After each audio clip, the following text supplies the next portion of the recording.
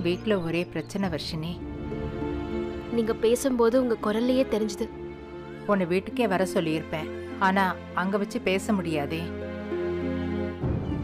என்ன பிரச்சனை பாட்டி? எழில் ஏதாச்சும் அமிர்தா விஷயமா பேசினாரா? பேசிடுவன் அவன் என்கிட்ட அப்படி. தொலைச்சிடுவேன்னு அவனுக்கே தெரியும். ஆனா அவன் பிரச்சனை தான். அவன் தான் இப்ப வீட்ல நடக்கிற எல்லா பிரச்சனைக்கும் காரணம். ஐயோ என்ன பண்ணாரு பாட்டி?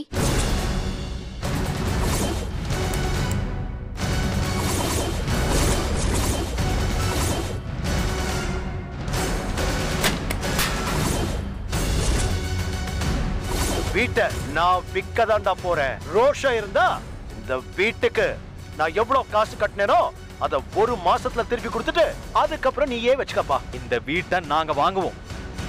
ஒரு மாசம் டைம் இருக்குல்ல? நாங்க வாங்கிக்கிறோம். வாங்கி எங்க அம்மாவோட பேரை பெருசா எழுதி மாட்டுவோம் ஐயோ இதெல்லாம் தேவையா? நீயே சொல்லு. எழில் ஏன் இப்படி இருக்காரு பாட்டி. அவன் அப்பா கிட்ட பெருசா சவால் விட்டான். நான் பணத்தை கொடுத்துட்டு இந்த வீட்டை வாங்குறேன்னு. எழில் கிட்ட அவ்வளோ பணம் இருக்கா என்ன? எங்க இருக்கு? சொல்லு. அப்புறம் எப்படி பாட்டி? சும்மா வாய் தான்.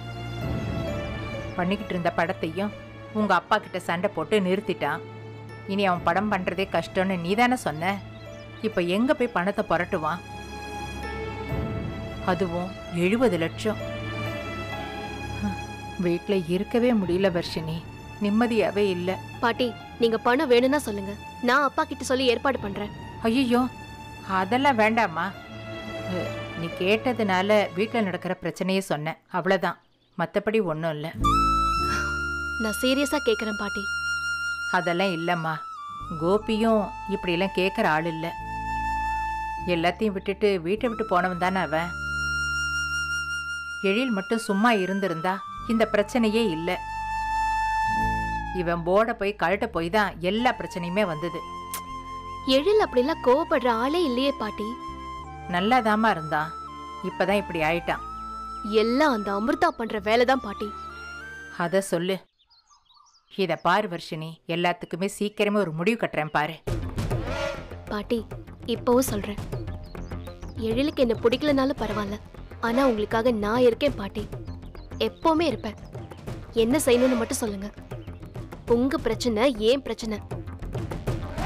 இவ்வளவு நல்ல பொண்ணா இருக்க. உன்னை போய் எழு புரிஞ்சுக்கல பாரு. எல்லாத்துக்கும் காலம் வரும். நீ கவலைப்படாம இரு. நான் போயிட்டு வரேன். சரி பாட்டி.